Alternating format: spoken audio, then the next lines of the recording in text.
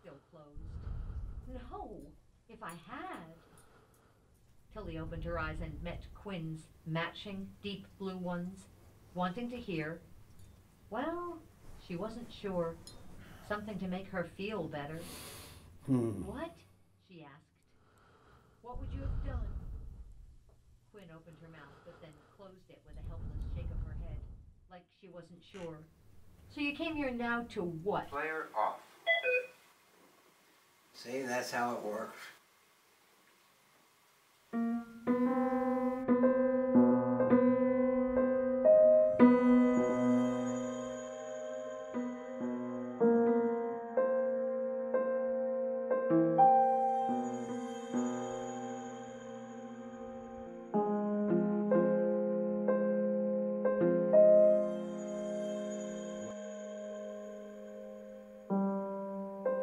A little quick synopsis, synopsis of it all. Uh, um, I don't consider it a disability, but the school had a lot to that, uh, the blind school.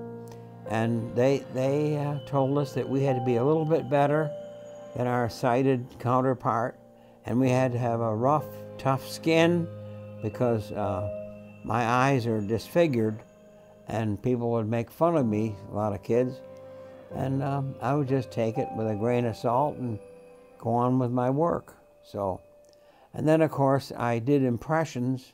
Okay, sister. Just because you got me on this gurney doesn't mean my six guns aren't nearby. I want to make one thing clear. I am not a crook. Uh, my teeth are slipping I, I wish I better wash them in some Efferdent and put, put them back in over again.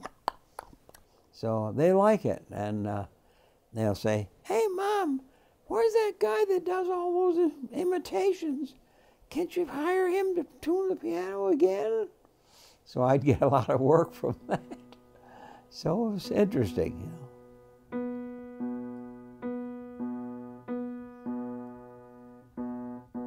I was born February 7th, 32, and in 34 was when I was given the medicine. Had an infection, started in my mother's womb, and then I got this infection, and a nurse made a mistake and gave me medicine I shouldn't have had, and within a half hour I was blind. Then my mother well, I never knew her per se, but I've had friends up there tell me her name was Margaret, and uh, I could see her, and they knew her. And I said, if she walked up to me on the street and said, I'm your mother, and I'd say, well, how do you do? And let it go.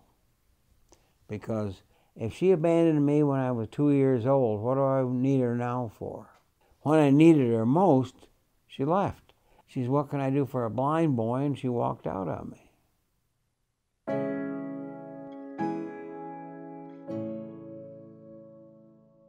I don't consider it a disability, but blindness or handicap is a nuisance, but it can be overcome. And I have, and, and I've done it. I've been very successful. And I, I don't want to, I, I don't wear religion on my sleeves, but I think the Lord put me there to tell people that you can do things in spite of your handicap.